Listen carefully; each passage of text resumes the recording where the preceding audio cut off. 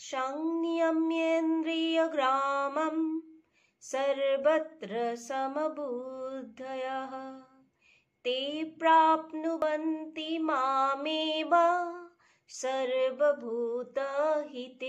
রতাः যারা সকল প্রাণীর কল্যাণে নিযুক্ত ইন্দ্রিয় সংযমী যারা সর্বব্যাপী শাশ্বত নির্গুণ ব্রহ্মের উপাসনা করেন, তারা আমাকেই প্রাপ্ত হন।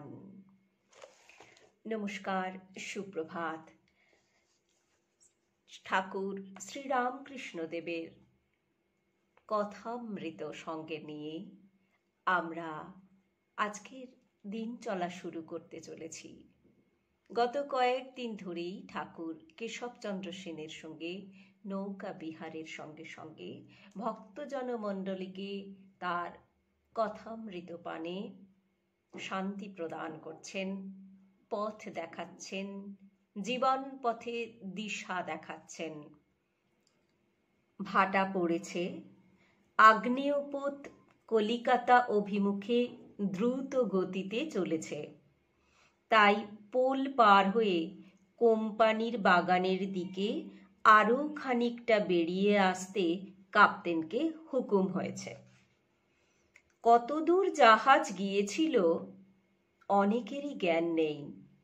তারা মগ্ন হয়ে ঠাকুরের কথা শুনছেন। কোন দিক দিয়ে সময় যাচ্ছে হুঁশ নেই। এমন অমৃত। এইবার মুড়ি, নারকেল খাওয়া হচ্ছে। সকলেই কিছু কিছু কোঁচড়ে নিলেন এবং খাচ্ছেন। আনন্দের হাট। কেশব মুড়ির আয়োজন করে এনেছেন। এই অবসরে ঠাকুর দেখলেন বিজয় আর কেশব দুইজনের সংকুচিতভাবে বসে রয়েছেন। তখন ঠাকুর যেন দুজন অবোধ ছেলেকে ভাব করিয়ে দেবেন। সর্বভূত হিতে রতাহা। ঠাকুর কেশবকে বলছেন, ওগো, এই বিজয় এসেছেন।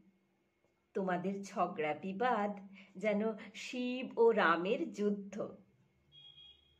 রামের গুরু শিব, যুদ্ধও হলো, দুজনের ভাবও হলো।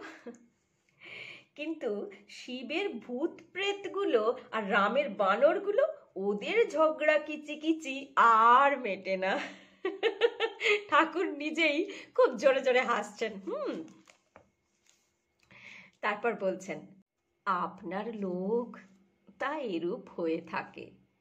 লবকুশ, তারা যে রামের সঙ্গে যুদ্ধ করেছিলেন, আবার জানো, মায়ে ঝিয়ে আলাদা মঙ্গলবার করে। মার মঙ্গল আর মেয়ের মঙ্গল যেন দুটো আলাদা। কিন্তু এর মঙ্গলে ওর মঙ্গল হয়, ওর মঙ্গলে এর মঙ্গল হয়।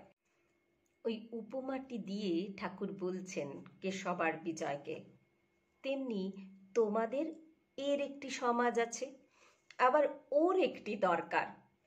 এমন করে বলেছেন, সকলে হাসছে। ঠাকুর বলছেন তবে এসব চাই। যদি বলো, ভগবান নিজে লীলা করেছেন, সেখানে জটিলে কুটিলের কি দরকার? জটিলে কুটিলে না থাকলে লীলা পোষটাই হয় না। সবাই হাসছে শুনে। ঠাকুর আবার বলছেন জটিলে কুটিলে না থাকলে রগড় হয় না। ঠাকুর নিজেই হাসছেন জোরে জোরে। তারপর বলছেন, রামানুজ বিশিষ্টাদ্বৈতবাদী। তার গুরু ছিলেন অদ্বৈতবাদী। শেষে দুজনে অমিল। গুরু, শিষ্য, পরস্পর মত খণ্ডন করতে লাগল। এরূপ হয়েই থাকে। যাই হোক, তবু আপনার লোক জয় ঠাকুর